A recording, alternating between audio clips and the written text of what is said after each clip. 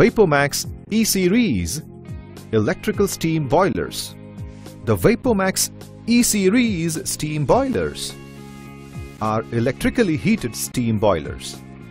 Electrical tubular heater are used to generate the steam.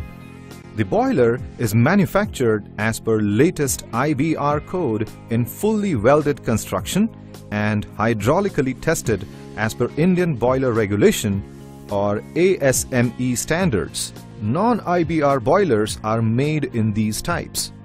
Part descriptions. Electrical heaters. Water level controller.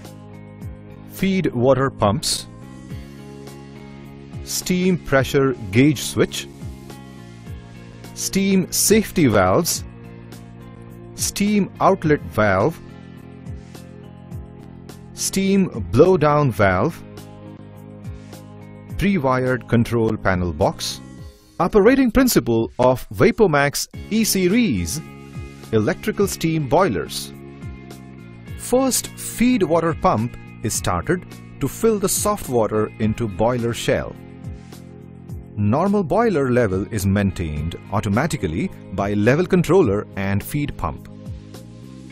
After filling boiler and putting switch to auto mode, heater and feed pump starts automatically.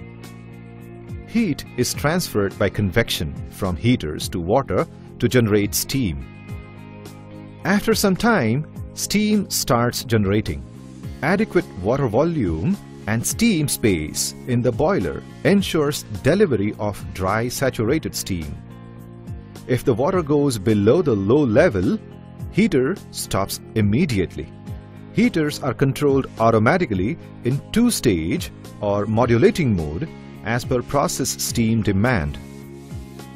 For two-stage operation, pressure switch is used and for modulation pressure transmitter and PID is used to control heater load.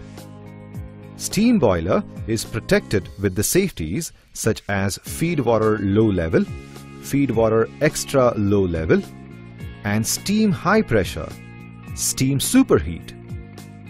In case of X steam pressure, safety valves open letting off steam outside.